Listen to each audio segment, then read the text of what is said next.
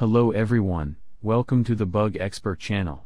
In this video, we will talk about solutions for friends who encounter the Battle.net could not connect to the Battle.net service error. This error occurs due to a connection or server problem, restricting your access to the program.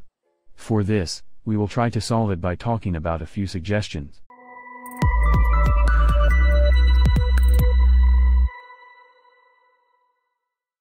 Before we show you solutions, we will briefly talk about the forum.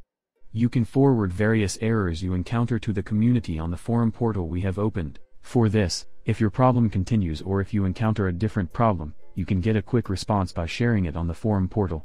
We care about your questions and suggestions. Any file or application downloaded in the background can cause us to encounter various errors like this. For this, Stop the download of any file or application you downloaded in the background and run the Battle.net program again to check if the problem persists. Refresh your internet by turning your modem device off and on again. After the modem restarts, close and reopen the Battle.net application completely and check if the problem persists. If your problem persists after this suggestion, we can eliminate the problem by enabling the default Google DNS server.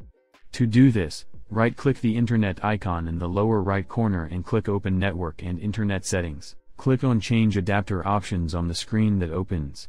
After this process, open the Properties menu by right-clicking on the Ethernet icon and double-clicking on the Internet Protocol version 4 option and apply the setting I have shown.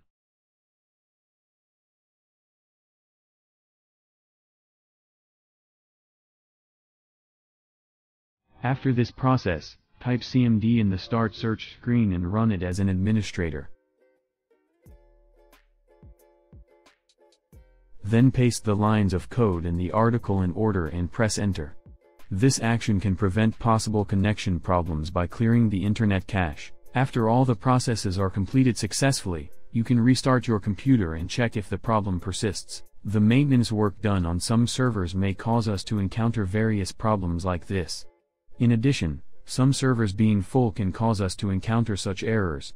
For this, we can eliminate the problem by changing the server. To do this, first run the Battle.net program. Click the gear icon in the upper right corner and try to log into your account by selecting any server.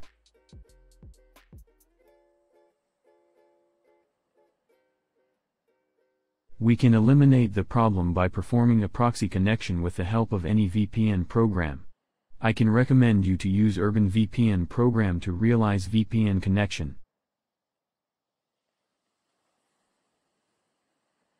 First of all, let's close the Battle.net program running in the background completely with the help of a task manager. Run Urban VPN or any VPN program. Then select any country and perform the connection process. After the connection process is complete, you can check if the problem persists by running the Battle.net program. Failure of the application to run with administrator rights may cause us to encounter various errors like this. For this, close the Battle.net program completely and run it as an administrator and check if the problem persists. Disable any antivirus program you are using or delete it completely from your computer. If you are using Windows Defender, disable it. For this, let's write virus and threat protection on the start search screen and open it. Click on the Manage Settings option on the screen that opens and scroll down the menu and click on the Managed Controlled Folder Access option. After this process, let's disable the Controlled Folder Access option and come back. Let's turn off the real-time protection that comes up and go down again and click on the Add or Remove Exclusions option. Click on the Add an Exclusion option on the screen that opens, select the folder and select the folders where the Battle.net application is installed and save. If you do not know where the folders are, follow me carefully and save.